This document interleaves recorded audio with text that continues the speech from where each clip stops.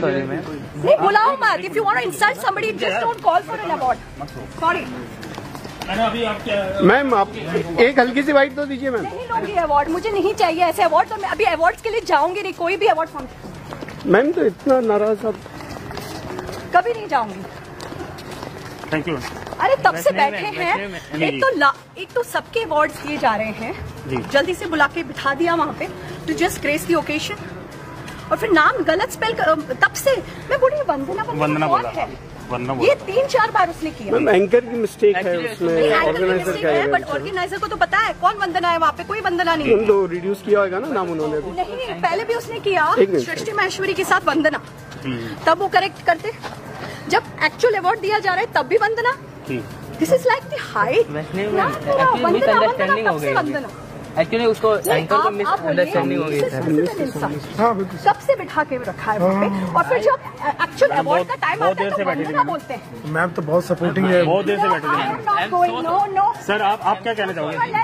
Sunil sir madam madam आइए ना madam madam. Ma'am ma'am ma'am ma'am Vaishnavi Vaishnavi. आप क्या कहना चाहोगे? ऐसे नहीं है ये तो गलत बात होगी देखिए क्या है इतनी वेटरन एक्ट्रेस हैं। वैष्णवी जी कई सारी फ़िल्में कर चुकी हैं। शक्तिमान जैसा महान सीरियल कर चुकी हैं। गीता नाम से उनको बड़ा जाना जाता है। ऐसे कलाकार के साथ में नाम का मिस्टेक होना अवार्ड फ़ंक्शन में ये थोड़ा सा हर्टिंग तो होता है जो उनको बिल्कुल जो उन्होंने रिएक्ट किया।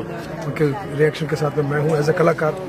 मुझे लगता है कि इस- इसका बहुत ध्यान रखना चाहिए खासकर एंकर को बहुत ध्यान चाहिए। क्योंकि आयोजक तो कहीं ना कहीं बिज़ी होते हैं वो अपने काम में होते हैं। एंकर को इस बात की जानकारी होनी चाहिए पूरे शो की कि हमारे शो में कौन आने वाला है क्या किसका क्या नाम है किसका क्या प्रोफेशन इवन प्रोफेशन भी पता होना चाहिए कि जिस कलाकार को हम दे रहे हैं वो विलन है कॉमेडियन है क्या है पता होना चाहिए। और ये मिस्टेक यहाँ पर हुई है। इतने बड़े वेटरन एक्टर्स के साथ में तो मुझे लगता है ये मैं मुझे भी मैं मैं भी इनके वैष्णव जी के फ़ैन होने के नाते उनके विचारों के साथ है। आपके साथ कभी ऐसा हुआ है? कई बार होता है राजू पाल बोल देते हैं एहसान पाल बोल देते हैं नवीन पाल बोल देते हैं। लेकिन मैं सोचता हूँ कि चलो ठीक है मज़ाक में कर रहे हो क्योंकि हमारे साथ में क्या है हम इतना दिल पे लेते नहीं लेकिन कुछ लोग ऐसे हैं जो सचमुच एक रिस्पेक्ट के दायरे में आते हैं कलाकारी के दायरे में आते हैं जिन्होंने शिद्दत से इस अपने काम की सेवा की है लोगों की सेवा की है। और उनको जब आप बुलाते हैं तो उनकी जानकारी रखनी चाहिए। बस मुझे ये लगता है। मेरे साथ में कभी कभी होता है लेकिन मैं बहुत बार नहीं हुआ कभी कभी हुआ है। तो मैंने ठीक कर लिया कॉमेडी में ठीक कर लिया वो बात आई गई होगी। मैंने इतना सीरियसली नहीं लिया लेकिन इनका रिएक्शन बिल्कुल जो सही है क्योंकि सबसे पहले आई थी वो अवार्ड बहुत देर से काफ़ी